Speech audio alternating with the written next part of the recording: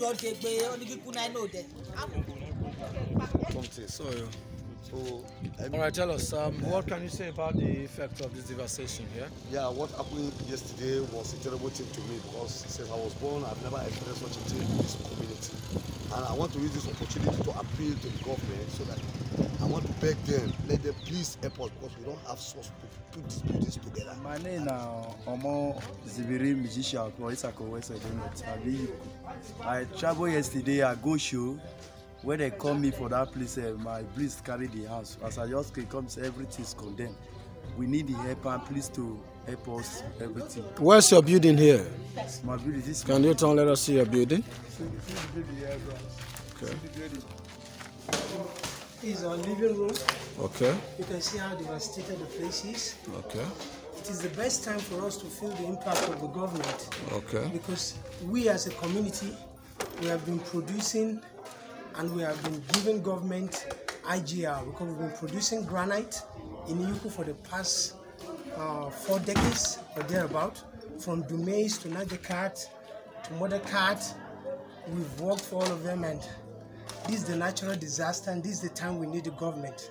Okay. Uh, we appeal to Senator Ali, Ali Mikena, who comes from this part, to please come to our aid. Uh, Deputy Governor Felix Shaibu, we really appreciate some help. You can see the whole building is gone. All what our fathers or brothers worked for decades for is gone. And to put this roof together now costs an arm and a leg.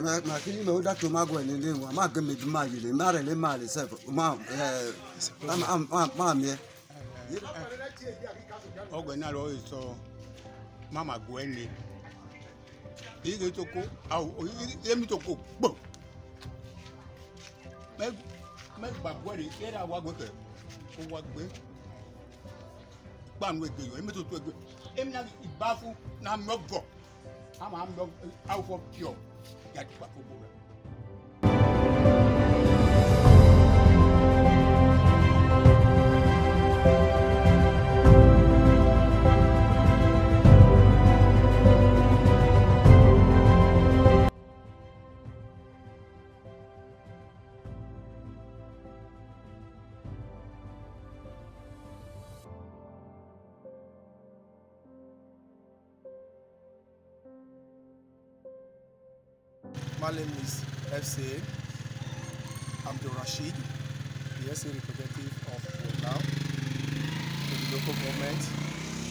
So we are in the quest of transformer, one of the transformer in Ukraine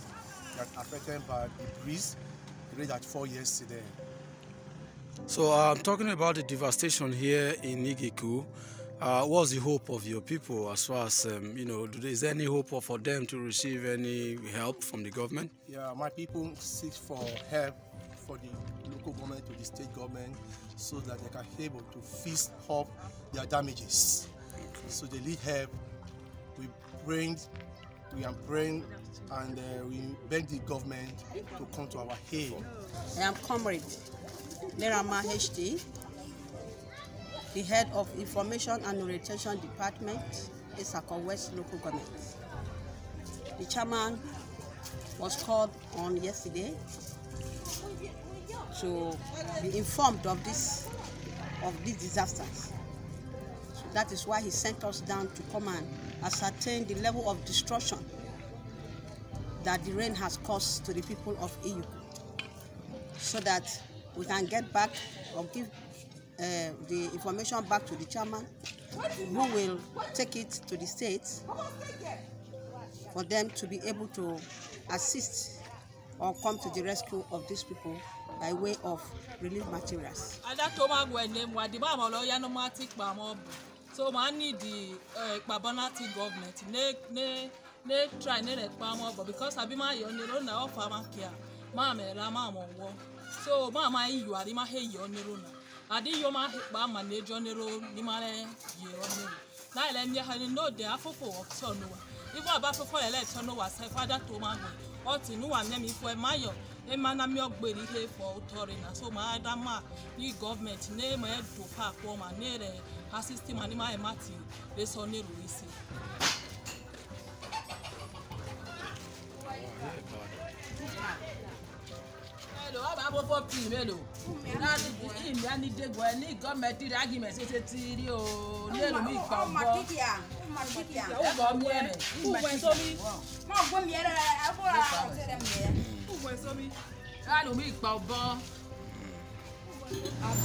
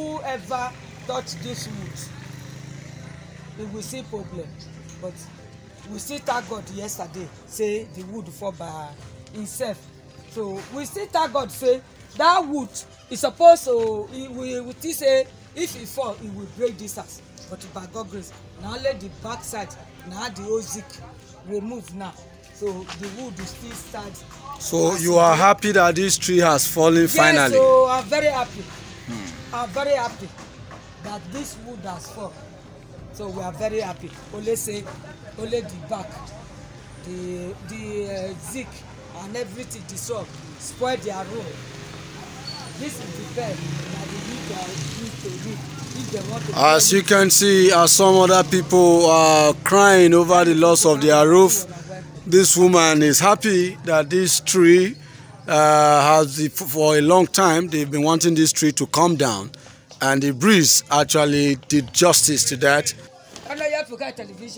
You can see that the tree has given way and uh, she's happy that, um, you know, something that um, had um, spiritual connotation that anyone that falls this tree will die or something, but uh, nature